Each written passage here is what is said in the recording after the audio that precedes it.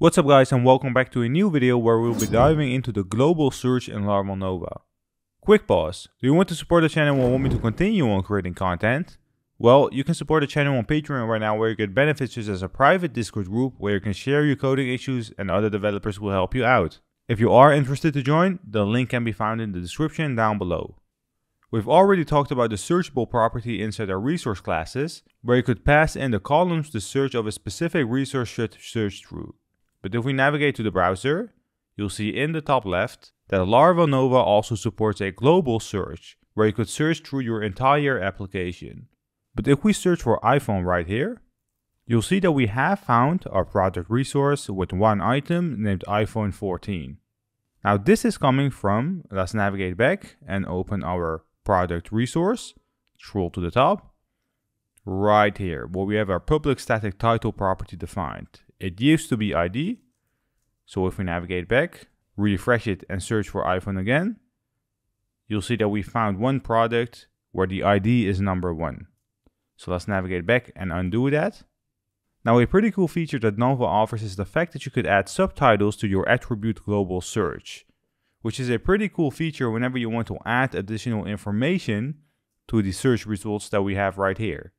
So let's do that. Let's navigate back and right below our public static title, let's define a function right here called public function subtitle.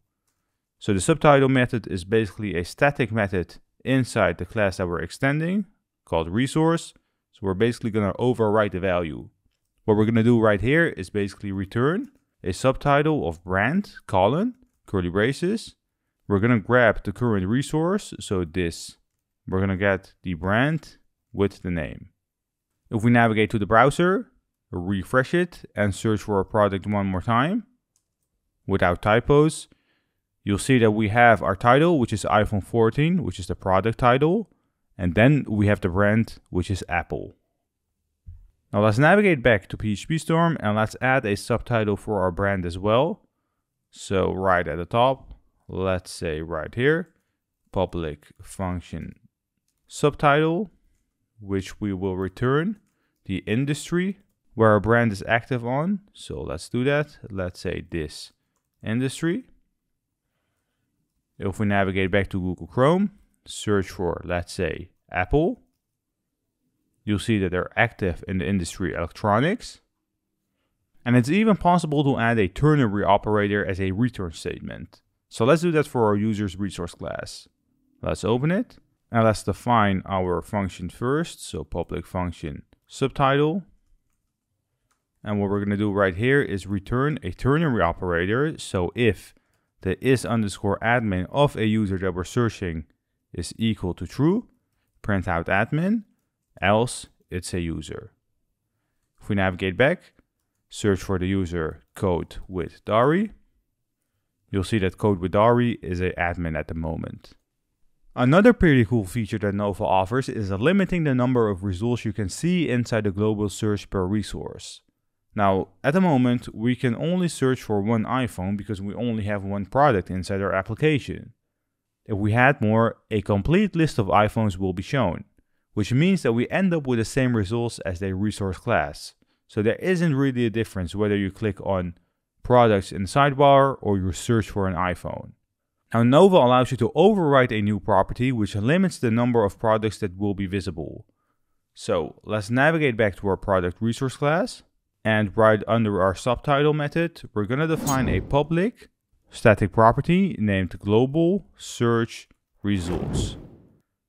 The value should be equal to an integer which will represent the number of rows that should be visible.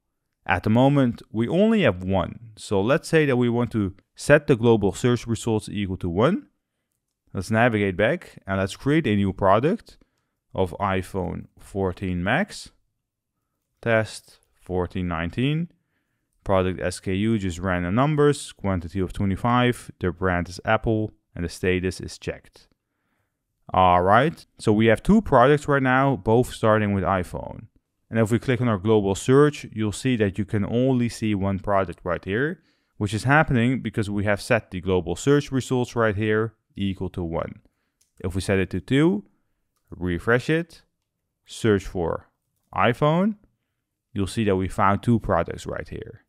Now you usually don't want to use a low number, so let's say 10 right here. Another pretty cool feature that Nova allows you to add on your global search is the debounce. And the debounce is the time before the results will be shown to you.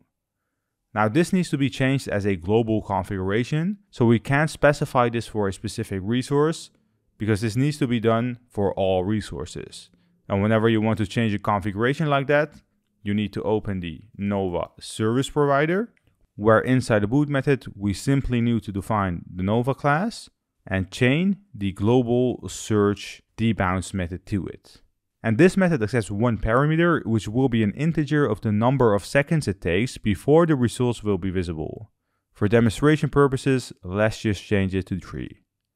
If we navigate back, refresh it, and search for iPhone again, you'll see that it has been delayed by 3 seconds, and that is happening because of our global search debounce right here. Now I personally don't see any point of adding this on localhost, maybe on production in case your hosting isn't as good as others, so for now let's just remove this line. The last two settings I'd like to show you regarding the global search is either disabling the global search of a resource or disabling the global search of all. Now let's start off by disabling a specific resource. And let's add it inside our user resource class. So let's open it and right below our subtitles, now let's say that we want to override the public static globally searchable property, which has a default value of true, which means that we need to override the value to false if we want to turn it off. So let's do that. Let's set it equal to false. Let's navigate back to Google Chrome, refresh it. Let's search for the user code with Dary. And as you can see, Nova replied with a message saying that the user has not been found. Now lastly, we could disable the entire search input field right here. And once again, whenever you want to disable a functionality that has been set globally, you need to perform some kind of functionality inside a Nova service provider. So let's do that. Let's open our Nova service provider. And right here, let's say that we want to call the Nova class again, colon colon, without global search. If we navigate to the browser and refresh it, and you will indeed see that our global search input field has completely been removed. Now this was it for this episode where we dived into the global search of Laravel Nova. In the next video, we're going to have a look at filters. If you do like my content and you want to see more, leave this video a thumbs up, and if you're new to this channel, please hit that subscribe button.